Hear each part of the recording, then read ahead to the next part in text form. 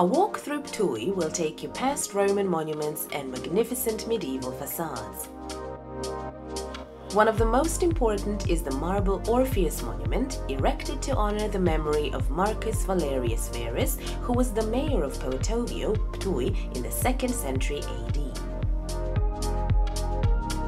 Your next stop should definitely be the Town Hall of Ptuj.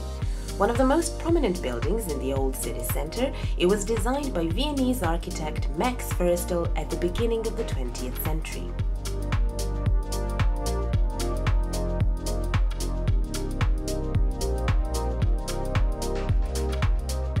Ptuj has beautiful cafes and restaurants where you can enjoy a coffee or try some of the many delicious culinary specialties. Cobbled streets and squares will lead you to one of the most majestic castles in Slovenia, which offers a view over the roof tiles of medieval monasteries, churches and various other buildings.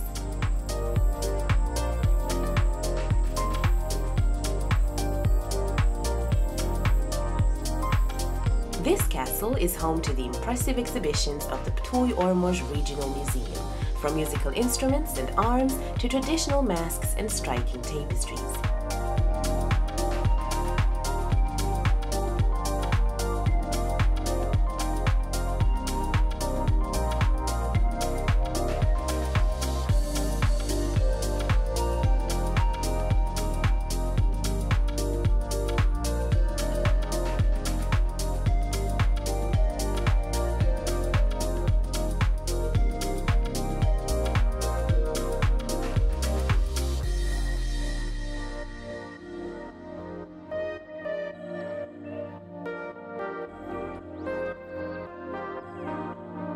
Complete your perfect day in the city park, which is also an excellent starting point for a popular walk that will take you along the Drava embankment.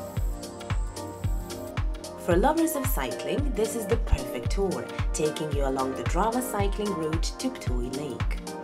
Ptuj Lake is the largest and also one of the most beautiful lakes in Slovenia, with over 230 bird species that can be found nesting in the protected area around the water.